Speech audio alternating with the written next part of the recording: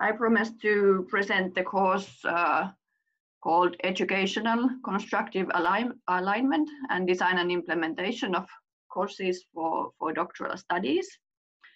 And uh, our team uh, consists of, of University of Helsinki, then we have Yerevan State University from Armenia, and then uh, from Russia, we have the State Vocational Pedagogical University and, and the university uh, and, and MIGAIC. And uh, shortly about this, uh, this course description and my presentation. So this course description is based on the course uh, called Learning in Higher Education, which is uh, five ECTS credits. And it's organized by, by the Center for University Teaching and Learning in, in the University of, of Helsinki. And uh, the teaching is based on the theory of constructive uh, alignment and student-centered learning. So these are the concepts that we discussed in the previous um, the previous uh, training that we have had called the Moscow training in April. And then uh, the aim and target group for the course. So uh, the course is intended for teachers, meaning all the teaching staff at the university, and this of course in, includes uh, doctoral students. And uh, so everybody who participates in the course should have some kind of teaching experience. And the course is part of, uh, of uh, basic studies in university pedagogy. It's the first course course that you, you take when you start learning this uh, university pedagogy. And it, uh, the aim is to, is to tell about the basic theories of learning and uh, then present key pedagogical concepts and to probably answer, hopefully to answer the questions that what kind of processes are involved in learning at university and then uh, how can a teacher support students active learning and then for the for the learning outcomes i have use the red color to highlight some uh, some key words uh, words for, for the learning outcomes and, and also for the content of the course. So uh, the participant will have basic knowledge of learning related phenomena and processes and understand what kind of learning processes are involved in higher education.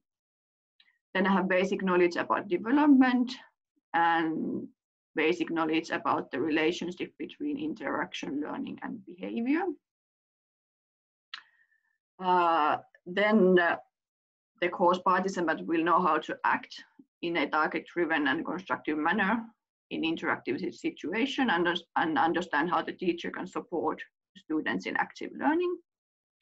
And then participants will also be able to reflect re re reflect on and further develop their own teaching and learning as teachers with the help of knowledge in the psychology of learning.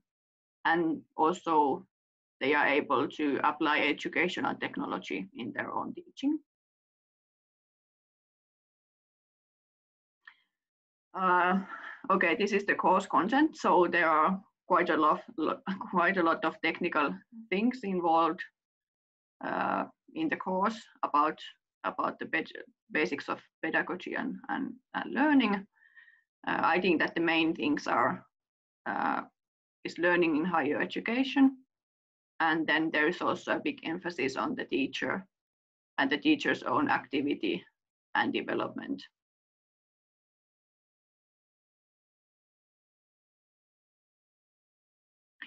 And then you should practice what you what you preach. So the course uh, structure, uh, the course uses active uh, learning methods that it includes individual and group assignments as well as e-learning. So the course use, uses Moodle as a platform. Uh, the course has preliminary assignments, then face-to-face -face meetings or lectures, if you want to call them that. Uh, then the face-to-face -face meetings also have a small group work, and then there is assignments and learning reports that uh, that the student needs to needs to complete. Uh, and these include student interviews, uh, observing interaction in teaching. So you should go and uh, watch your fellow teacher to give a lecture, for example, and then reflect on what is happening in, in that lecture. And then there is also a learning diary and learning report that needs to be needs to be done. And then there is also, well, there is something that we added from from actually another another course which we thought that is it's a good uh, add to this course. So uh, once you learn the basic theory of constructive alignment, you should be able to apply it. And uh, we want the students to create a constructively, constructively aligned study module or course, or then modify an existing module or course along the principles of constructive alignment. And of course, uh, all of these assignments, uh, the student participants are expected to apply the knowledge obtained from the from the lectures or the face-to-face -face meetings and and literature uh, when completing all these assignments. Uh, then something about the assessment practices and criteria. So, of course, uh, the final grade, and this course is graded from from from a scale from, from of, course there is a possibility to get a fail, but uh, the scale is from one to five, and the overall grade is uh, based on the completion of all the activities involved in the course, and then the learning diary and other assignments. And uh, also a little bit more about the individual assignments. So in the learning report, the participant uh, should discuss the most important issues they learned in the course on the basis of literature and then the, their own learning assignments and learning journal.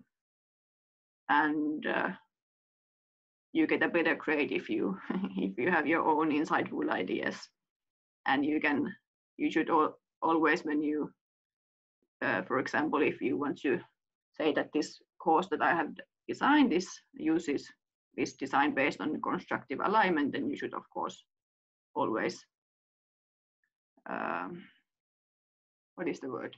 I'm sorry. Uh, you should you should be able to use pedagogical literature to uh, I'm sorry, Katja, what is todistaa in English? Perustella. Justify? Justify, yes, thank you. I'm so sorry. The second day seems to be too much for me. I'm, I'm forgetting all the English words. But yes, thank you. So you should always justify all your all the things based on the based on literature. And uh, I didn't have the um, dates for the deadlines, but as I saw that everybody else has uh, put June as deadline deadline for this, so we will we will continue the development of this course, and uh, hopefully we also uh, finish our work by June or then by fall.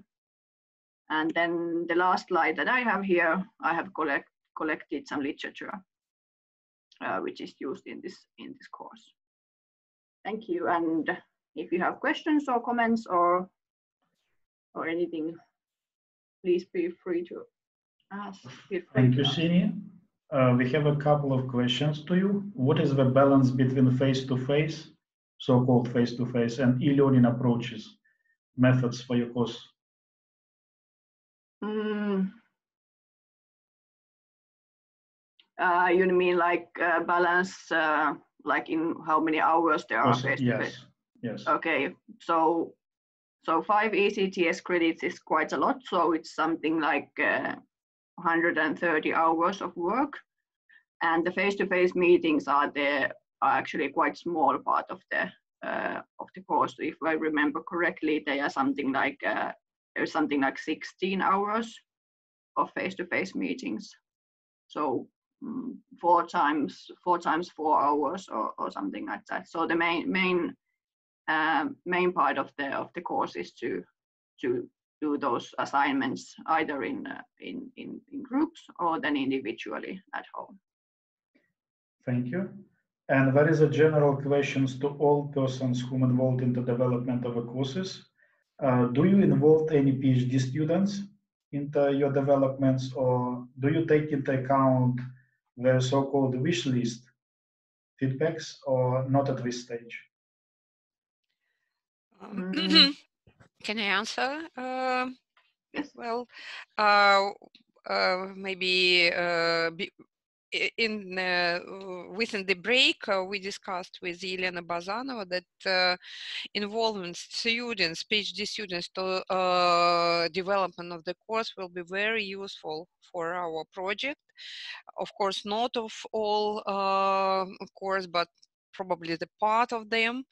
And uh, uh, regarding the course presented by Sini, um, I can say that uh, um, within our standard for PhD education for all uh, subject area, we have obligatory course of pedagogic and psychology of, of uh, high education.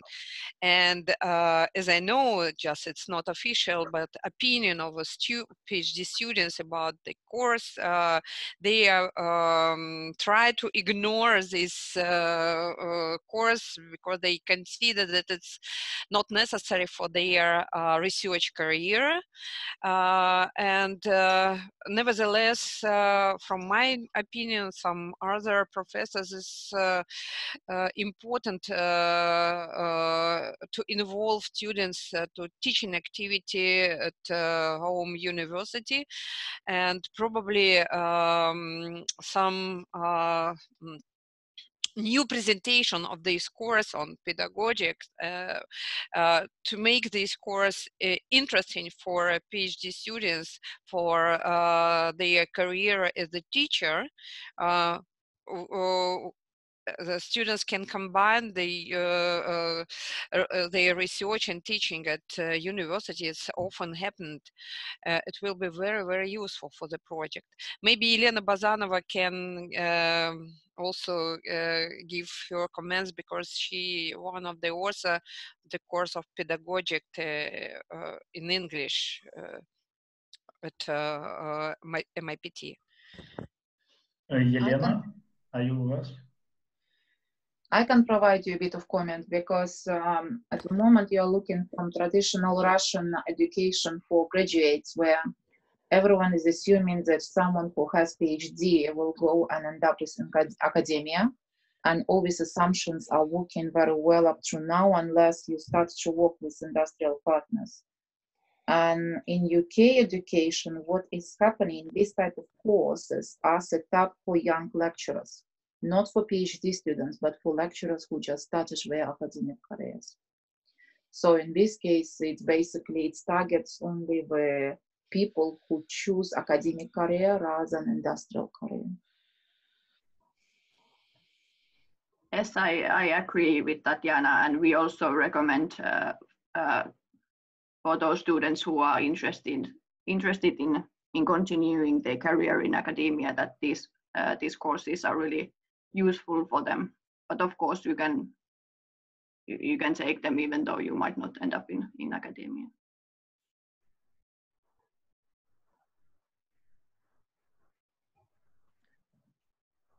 Okay, I don't see any other questions yet in the chat. Oh, should be. Okay, there is a comment from Yelena Bazanova that PhD students should be involved in teaching during the course of their studies.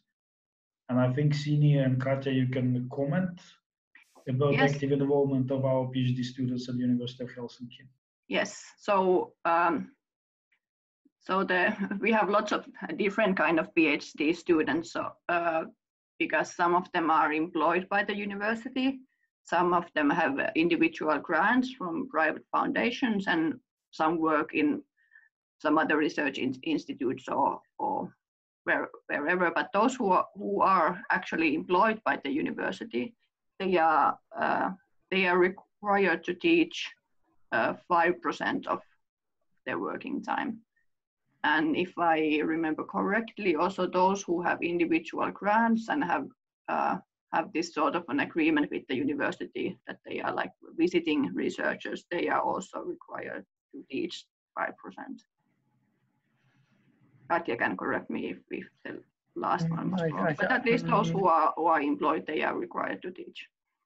Yes, yes. I have I have also learned that this is at least a little bit exceptional, but that is actually very important teaching resource for, for us, especially in, in, in natural sciences.